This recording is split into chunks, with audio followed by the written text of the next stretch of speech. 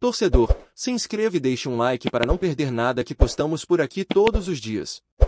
Classificado em quinto lugar na tabela do Campeonato Brasileiro, o Cruzeiro, time liderado sob o comando técnico de Pepa, é uma das sensações do futebol brasileiro.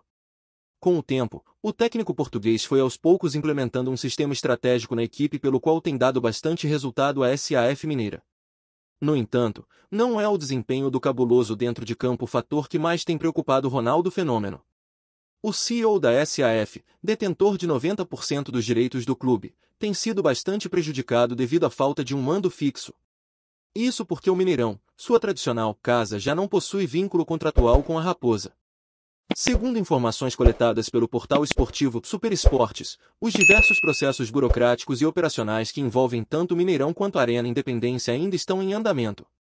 No último jogo, contra o Cuiabá, o time celeste precisou viajar até Sete Lagoas para ter o mando da partida perante o rival matogrossense.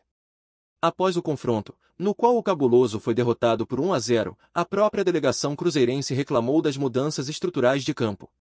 O centroavante Bruno Rodrigues afirmou que se sentiu prejudicado. A gente está numa sequência muito pesada. Qualquer coisa, temos que viajar. O jogo contra o Atlético Mineiro vai ser lá em Uberlândia, apontou o camisa 9. Para o próximo duelo, o Cabuloso irá encarar o Galo no Parque do Sabiá, em Uberlândia. Até o próximo vídeo.